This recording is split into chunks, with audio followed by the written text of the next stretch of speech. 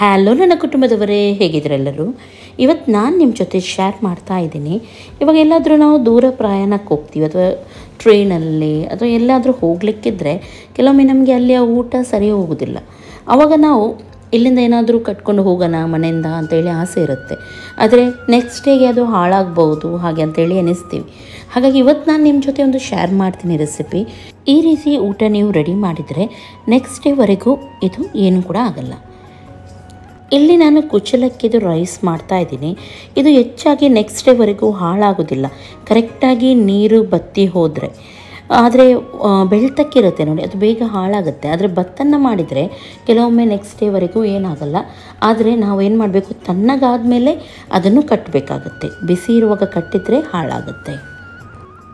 ನೀವು non veg ತಿನ್ನುವರಾದರೆ ಮೀನು ಇಷ್ಟ ಇದ್ದರೆ ನೀವು ಯಾವುದಾದ್ರೂ ಮೀನು ತೊಗೊಂಡು ಅದನ್ನು ಫ್ರೈ ಮಾಡಿ ಡೀಪ್ ಫ್ರೈ ಅಂದರೆ ರವೆ ಹಾಕಿ ಡೀಪ್ ಫ್ರೈ ಮಾಡಿದರೆ ಚೆನ್ನಾಗಿರುತ್ತೆ.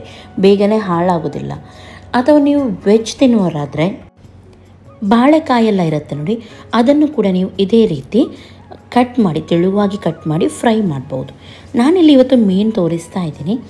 ಇಲ್ಲಿ ನಾನು ಮಸಾಲ ಚಿಲ್ಲಿ ಪೌಡರ್ ಹಾಗೂ ಅರಶಿನ ಪೌಡರ್ ಸ್ವಲ್ಪ ಉಪ್ಪು ನೆಕ್ಸ್ಟ್ ಇದಕ್ಕೆ ಹಾಕಿದ್ದೀನಿ. ವೆನಿಗರ್ ಹಾಕಿದ್ದೀನಿ. ವೆನಿಗರ್ ಹಾಕಿದರೆ ಬೇಗನೆ ಇದು ಹಾಳಾಗೋದಿಲ್ಲ. ಹಾಗೂ ಇದಕ್ಕೆ ಜಿಂಜರ್ ಗಾರ್ಲಿಕ್ ಪೇಸ್ಟ್ ಹಾಗೆ ಇಲ್ಲಿ ರವೆ ಫ್ರೈ ಮಾಡೋದ್ರಿಂದ ಕಾರ್ನ್ಫ್ಲೋರ್ ನಾವು ಹಾಕಬೇಕಾಗತ್ತೆ. ಎರಡು ಚಮಚದಷ್ಟು ಕಾರ್ನ್ಫ್ಲೋರನ್ನು ಹಾಕಿ ಚೆನ್ನಾಗಿ ಇದನ್ನು ನೀರು ಹಾಕಿ ನಾನು ಮಿಕ್ಸ್ ಮಾಡ್ತಾ ಇದ್ದೀನಿ. ಸ್ವಲ್ಪ ತೆಳುವಾದ ಬ್ಯಾಟರ್ ತಗೊಂಡು ಆಮೇಲೆ ನಾವು ಮೀನಿಗೆ ಈ ಮಸಾಲವನ್ನು ಹಾಕಿದರೆ ಆಯಿತು.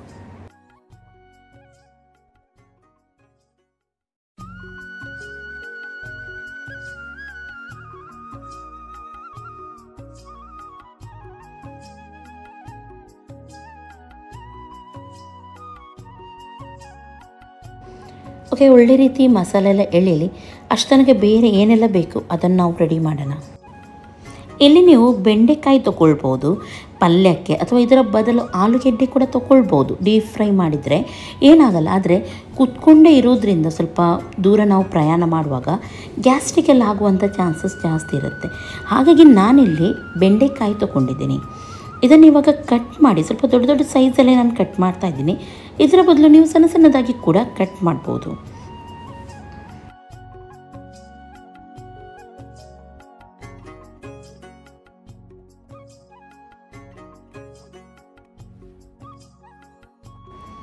ಇದಕ್ಕೆ ನಾನಿವಾಗ ಎರಡು ಚಮಚದಷ್ಟು ಸಾಸಿವೆ ಎಣ್ಣೆಯನ್ನು ಹಾಕ್ತಾ ಇದ್ದೀನಿ. ದೊಡ್ಡ ಚಮಚದಲ್ಲಿ ಎರಡು ಚಮಚದಷ್ಟು. ರುಚಿಗೆ ತಕ್ಕಷ್ಟು ಉಪ್ಪನ್ನು ಕೂಡ ಸೇರಿಸೋಣ. ಹಾಗೂ ಚೆನ್ನಾಗಿ ಇದನ್ನು ಮಿಕ್ಸ್ ಮಾಡಿ ಒಂದು ಐದು ನಿಮಿಷ ಹಾಗೆಯೇ ಬಿಡಿ. ಆಮೇಲೆ ಒಲೆ ಮೇಲೆ ಇಟ್ಟರೆ ಆಯ್ತು ಇದನ್ನು. ಇವಾಗ ಇದನ್ನು ಒಲೆ ಮೇಲೆ ಇಟ್ಟು ಒಳ್ಳೆ ರೀತಿ ಫ್ರೈ ಮಾಡಲಿಕ್ಕುಂಟು ಖಡಕ್ಕಾಗಿ ಫ್ರೈ ಮಾಡಿ. ಆವಾಗಿದು ನೆಕ್ಸ್ಟ್ ಡೇವರೆಗೂ ಏನು ಕೂಡ ಆಗಲ್ಲ. ಇದಕ್ಕೆ ನಾವು ಚೂರು ಕೂಡ ಇಲ್ಲಿ ನೀರಿನ ಅಂಶ ಸೇರಿಸಲಿಕ್ಕೆ ಇಲ್ಲ. ಇವಾಗ ಇದಕ್ಕೆ ನಾನು ಫ್ರೈ ಆಗಿದ್ದೆ, ಕೊತ್ತಂಬರಿ ಪೌಡರ್, ಜೀರಾ ಪೌಡರ್ ಹಾಗೂ ಉಪ್ಪು ಬೇಕಂತ ಎನಿಸಿದರೆ ನೋಡಿಕೊಂಡು ಹಾಕ್ಬೋದು. ಸ್ವಲ್ಪ ಗರಂ ಮಸಾಲ ಹಾಕಿದ್ದೀನಿ. ಹಾಗೂ ಇಲ್ಲಿ ಖಾರದ ಪೌಡ್ರನ್ನು ಹಾಕ್ತಾಯಿದ್ದೀನಿ ಇವಾಗ ಗ್ಯಾಸನ್ನು ಸಣ್ಣ ಉರಿಯಲ್ಲಿಟ್ಟು ಚೆನ್ನಾಗಿದನ್ನು ನಾವು ಫ್ರೈ ಮಾಡೋಣ. ಎಲ್ಲ ನೀರಿನ ಅಂಶ ಇದರಲ್ಲಿ ಬತ್ತಿ ಹೋಗಬೇಕು. ಸ್ವಲ್ಪ ನಾನಿಲ್ಲಿ ಹುಳಿ ನೀರು ಸೇರಿಸ್ತಾ ಇದ್ದೀನಿ. ಇದರ ಬದಲು ನೀವು ಲಿಂಬೆ ರಸ ಕೂಡ ಇಲ್ಲಿ ಹಾಕ್ಬೋದು. ಚೆನ್ನಾಗಿ ಇದನ್ನು ಫ್ರೈ ಮಾಡಬೇಕು. ನಾನಿಲ್ಲಿ ಜಿಂಜರ್ ಗಾರ್ಲಿಕ್ ಪೇಸ್ಟನ್ನು ಲಾಸ್ಟಲ್ಲಿ ಹಾಕ್ತಾ ಇದ್ದೀನಿ. ಫಸ್ಟಿಗೆ ಹಾಕಿದರೆ ಏನಾಗುತ್ತೆ? ಬೇಗನೆ ಇದು ತಳತಾಗುತ್ತೆ. ಓಕೆ ಇವಾಗ ನೋಡ್ಬೋದು ಎಣ್ಣೆಲ್ಲ ಪರ್ಫೆಕ್ಟಾಗಿ ಬಿಟ್ಟಿದೆ ಇದರಲ್ಲಿ. ಹಾಗೂ ಸರಿಯಾಗಿ ಇದು ಫ್ರೈ ಆಗಿದೆ. ಈ ರೀತಿ ನೀರು ಕಂಪ್ಲೀಟಾಗಿ ಬತ್ತಿ ಹೋಗಬೇಕು ಇದರಲ್ಲಿ. ಇವಾಗ ನೆಕ್ಸ್ಟ್ ಸಾರು ಮಾಡಬೇಕಲ್ವ? ಹಾಗಾಗಿ ನಾನಿಲ್ಲಿ ಹುಳಿ ಸಾರು ಮಾಡ್ತಾ ಇದ್ದೀನಿ. ಇದು ನಿಮಗೆ ಜೀರ್ಣ ಶಕ್ತಿ ಕೂಡ ಒಳ್ಳೆಯದು. ಇದಕ್ಕೆ ಬೆಳ್ಳುಳ್ಳಿ, ಶುಂಠಿ ಹಾಗೂ ಒಣಮೆಣಸನ್ನು ಹಾಕಿ ಚೆನ್ನಾಗಿ ನಾನಿಲ್ಲಿ ಜಜ್ತಾ ಇದ್ದೀನಿ.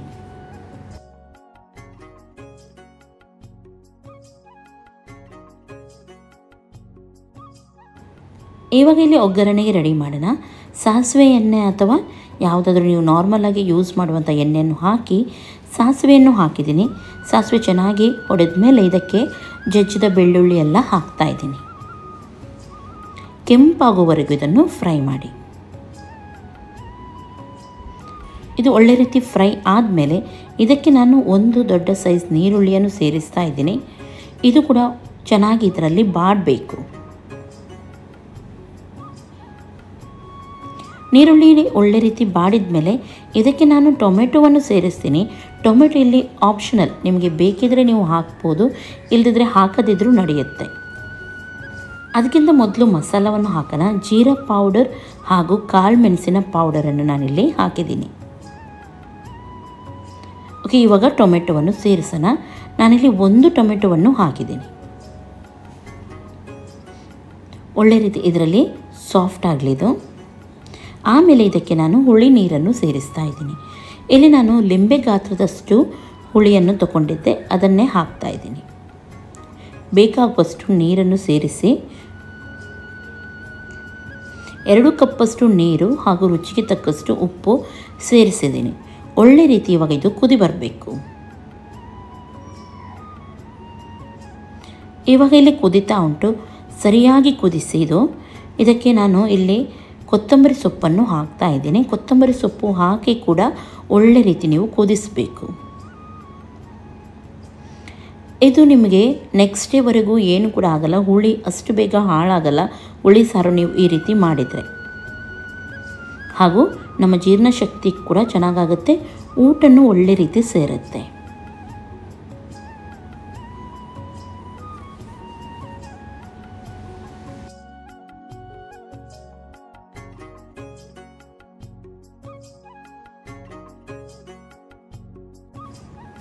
ಇವಾಗ ನಾನಿಲ್ಲಿ ಒಣ ಮೀನನ್ನು ಚಟ್ನಿ ಮಾಡ್ತಾ ಇದ್ದೀನಿ. ಸಿಗಡಿ ತಗೊಂಡಿದ್ದೀನಿ. ಇದನ್ನು ಏನು ಕೂಡ ಎಣ್ಣೆ ಎಲ್ಲ ಏನು ಹಾಕದೆ ಸರಿಯಾಗಿ ನೋಡಿ ಈ ರೀತಿ ಫ್ರೈ ಮಾಡಿದ್ದೀನಿ. ಒಳ್ಳೆ ರೀತಿ ಕಡಕ್ಕಾಗುವವರೆಗೂ ಫ್ರೈ ಮಾಡಲಿಕ್ಕುಂಟು ಆಮೇಲೆ ತೆಂಗಿನಕಾಯಿ ಫ್ರೆಶ್ ತೆಂಗಿನಕಾಯಿಯನ್ನೇ ತಗೊಂಡಿದ್ದೀನಿ. ಒಂದು ಕಪ್ಪಷ್ಟು ಹಾಕಿ ಇದನ್ನು ಕೂಡ ಫ್ರೈ ಮಾಡಬೇಕು. ಒಳ್ಳೆ ರೀತಿ ಡ್ರೈ ಆಗಬೇಕಿದು.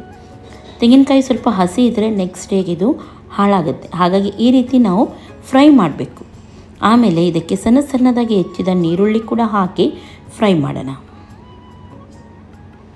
ಇದು ನಿಮಗೆ ನೆಕ್ಸ್ಟ್ ಡೇವರೆಗೂ ಏನು ಕೂಡ ಆಗೋದಿಲ್ಲ. ನೀವು ಹೊರಗಡೆ ಇಟ್ಟರೂ ಹಾಳಾಗೋದಿಲ್ಲ ಇದು.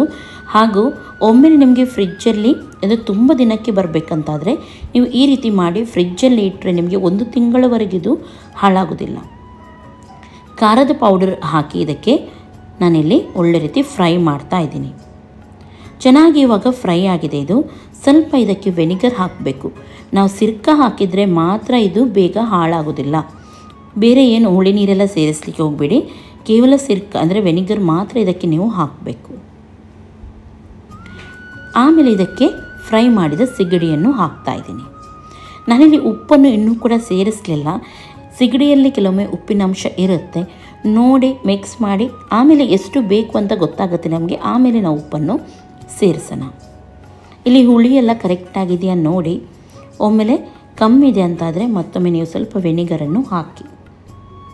ಇವಾಗ ನಾನಿಲ್ಲಿ ಉಪ್ಪನ್ನು ಸೇರಿಸ್ತಾ ಇದ್ದೀನಿ, ರುಚಿ ನೋಡಿಕೊಂಡು. ಸ್ವಲ್ಪ ವೆನಿಗರ್ ಕೂಡ ಆ್ಯಡ್ ಮಾಡ್ತಾ ಇದ್ದೀನಿ, ಸ್ವಲ್ಪ ಕಮ್ಮಿ ಇತ್ತು ಹಾಗಾಗಿ. ಓಕೆ ಇದು ಇವಾಗ ಏನು ಕೂಡ ಆಗಲ್ಲ, ನೀವು ಹೀಗೇ ಒಂದು ದಿನ ಹೊರಗಡೆ ಇಟ್ಟರೂ ಏನು ಹಾಳಾಗೋದಿಲ್ಲ ಇದು. ಇಲ್ಲಿ ನಾನಿವಾಗ ರವೆ ಫ್ರೈ ಮಾಡ್ತಾ ಇದ್ದೀನಿ. ನೀವು ರವೆ ಫ್ರೈ ಬದಲು ಹೀಗೇ ಮಸಾಲ ಹಾಕಿ ಡೀಪ್ ಫ್ರೈ ಕೂಡ ಮಾಡ್ಬೋದು. ಅಥವಾ ತವ ಫ್ರೈ ಕೂಡ ಮಾಡ್ಬೋದು. ಆದರೆ ತವ ಫ್ರೈ ಮಾಡಿದರೆ ಕೆಲವೊಮ್ಮೆ ಹಾಳಾಗುತ್ತೆ. ಸ್ವಲ್ಪ ಡೀಪಾಗಿ ನೀವು ಮಾಡಿದರೆ ಏನಾಗೋದಿಲ್ಲ. ಸ್ವಲ್ಪ ಖಡಕ್ಕಾಗಿ ಮಾಡ್ತಾರೆ ನೋಡಿ. ಆ ರೀತಿ ಮಾಡಿದರೆ ಬೇಗ ಹಾಳಾಗೋದಿಲ್ಲ. ಓಕೆ, ಇದು ಇವಾಗ ಎಣ್ಣೆಯಲ್ಲಿ ನಾನು ಬಿಟ್ಟಿದ್ದೀನಿ. ಆದರೆ ಖಡಕ್ಕಾಗಿ ಇದನ್ನು ಫ್ರೈ ಮಾಡಬೇಕು. ಕರೆಕ್ಟಾಗಿ ಮುಳ್ಳು ಸಮೇತ ಕರುಮ್ ಕುರುಮ್ ಆಗುತ್ತೆ ಅಂತ ಹೇಳ್ತಾರೆ ನೋಡಿ. ಆ ರೀತಿ ನಾವು ಫ್ರೈ ಮಾಡಬೇಕಾಗತ್ತೆ. ಹಾಗಾಗಿ ಎಣ್ಣೆಯನ್ನು ಜಾಸ್ತಿ ಇಟ್ಟು ನಾನು ಇದನ್ನು ಫ್ರೈ ಮಾಡ್ತಾ ಇದ್ದೀನಿ. ಎರಡು ಸೈಡ್ ಕೂಡ ನೋಡಿ ಒಳ್ಳೆ ರೀತಿ ಕಲರ್ ಬರೋವರೆಗೂ ನಾನು ಫ್ರೈ ಮಾಡಿದ್ದೀನಿ. ಇದರ ಬದಲು ನೀವು ಬೈಗೆ ಮೀನು ಬೂತಾಯಿ ಅಂತ ಹೇಳ್ತೀವಿ ನೋಡಿ, ಅದು ಕೂಡ ತುಂಬ ಚೆನ್ನಾಗಾಗುತ್ತೆ. ಇಲ್ಲಿ ಇವಾಗ ಊಟ ರೆಡಿ ಆಗಿದೆ. ನಾನಿಲ್ಲಿ ಇದಿರುತ್ತೆ ನೋಡಿ, ಮೆಣಸಿನ್ಕಾಯಿ.